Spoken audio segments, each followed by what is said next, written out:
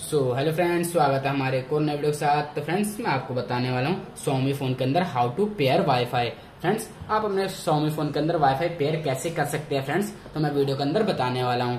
Friends अगर आप हमारे चैनल में नए आए हैं तो चैनल को ज़रूर सब्सक्राइब कर लें और वीडियो को ज़रूर लाइक कर दें। तो फ्रेंड्स वीडियो को स्टार्ट करते हैं। सबसे पहले इसलिए क्या करना है फ्रेंड्स आपको सेटिंग्स ओपन कर लेना है। सेटिंग्स ओपन करते हैं फ्रेंड्स यहाँ पे आपको शो हो जाता है फ्रेंड्स वाईफाई फ्रेंड्स यहाँ पे वाईफाई का ऑप्शन शो होता है, इस पर क्लिक कर लेना है। इस पर क्लिक करते हैं फ्रेंड्स वाईफाई जैसे ऑफ़ है फ्रेंड्स तो आपको क्या करना है? ये बटन ऑन कर लेना है।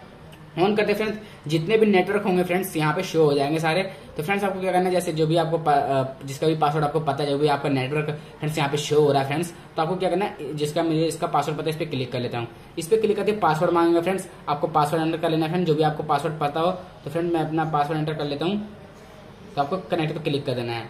कनेक्ट पे क्लिक करते हैं फ्रेंड्स ये देखिए हमारा वाईफाई पेयर हो चुका है। तो आशा करते हो फ्रेंड आप भी इसी तरीके से वाईफाई पेयर कर सकते हैं। तो आशा करते हो फ्रेंड आपको वीडियो अच्छा लगा होगा। अगर वीडियो अच्छा लगा तो वीडियो ज़रूर लाइक करें, चैनल को ज़रूर सब्सक्राइब करें। मिलता हूँ नेक्स्ट वीडियो तब तक के लिए गुड बाय